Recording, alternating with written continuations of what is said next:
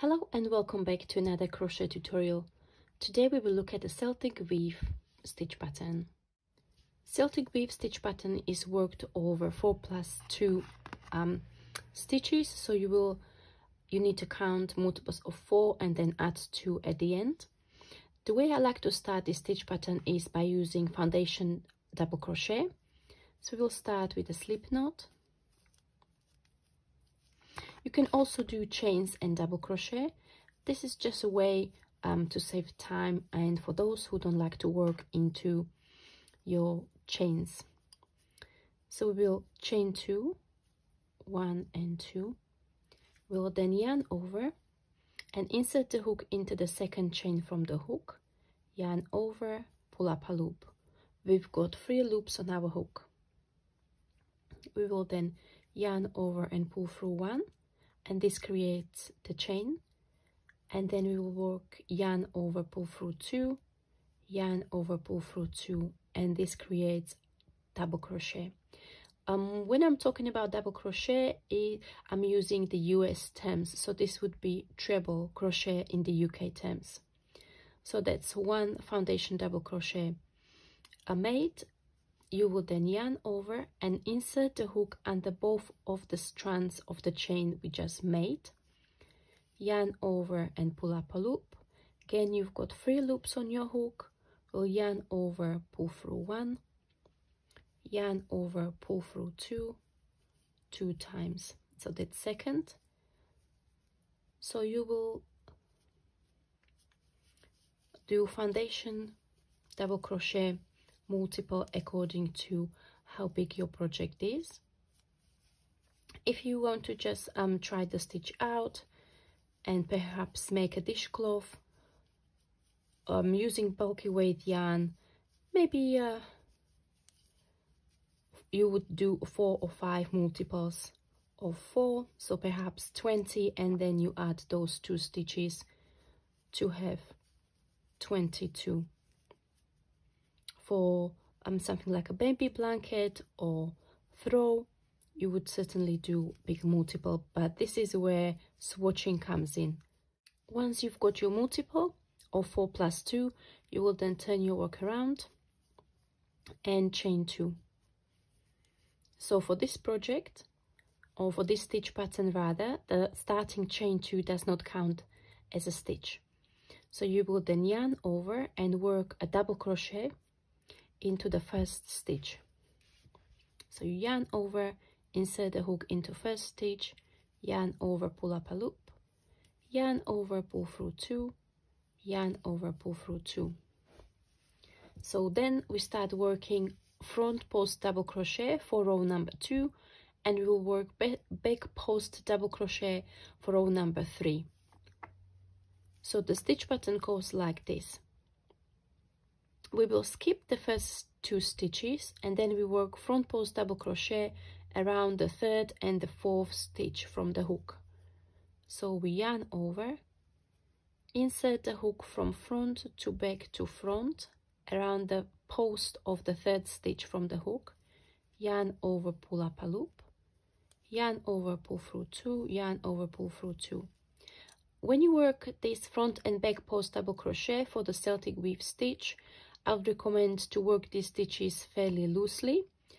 Otherwise, the fabric starts pulling in and the stitch pattern um, gets all um, distorted, so it doesn't come up as nice. So again, we work front post double crochet into the fourth stitch from the hook. And now we are going to go back into working the first and the second stitch from the hook.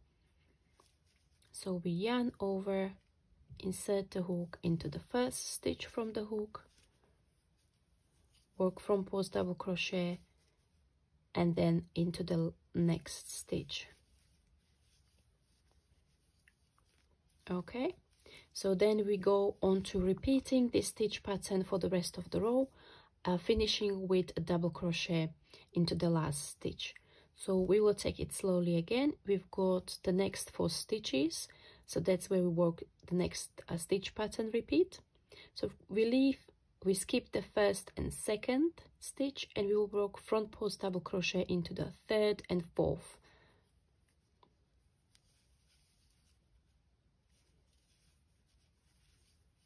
Like so. And into the fourth then we go back into and work front post double crochet into those stitches that we just skipped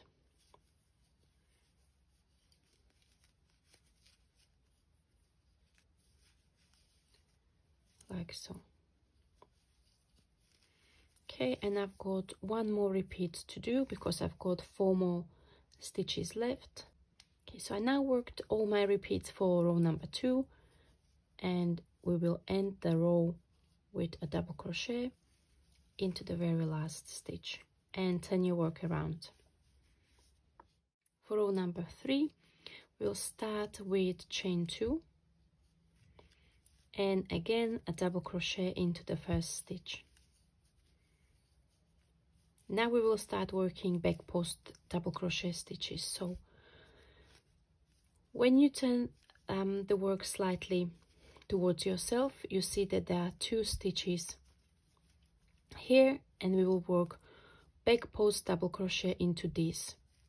So for back post double crochet you need to yarn over and work from back to front to back around the post of the stitch yarn over and pull up a loop.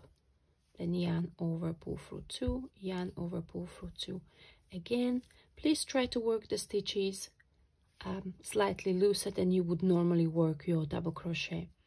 And we'll repeat the back post double crochet into the next stitch.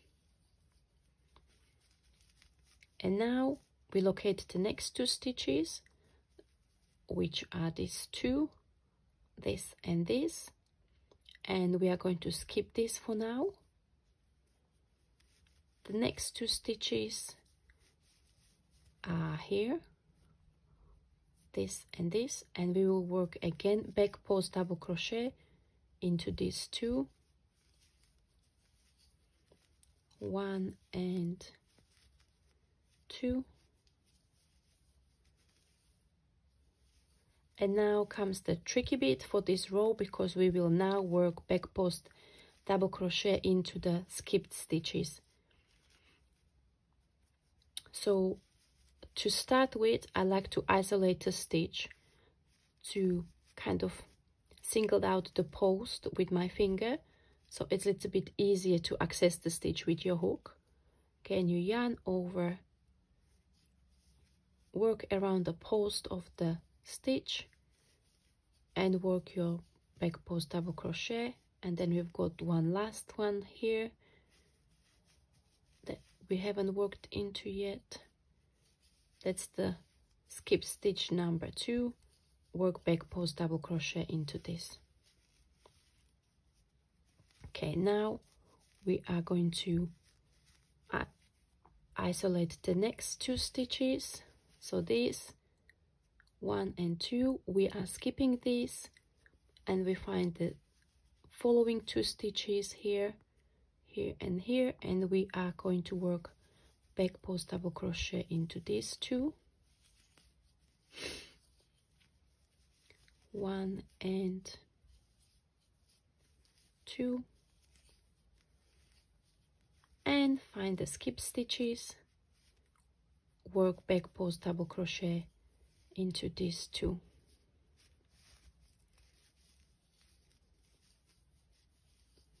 One.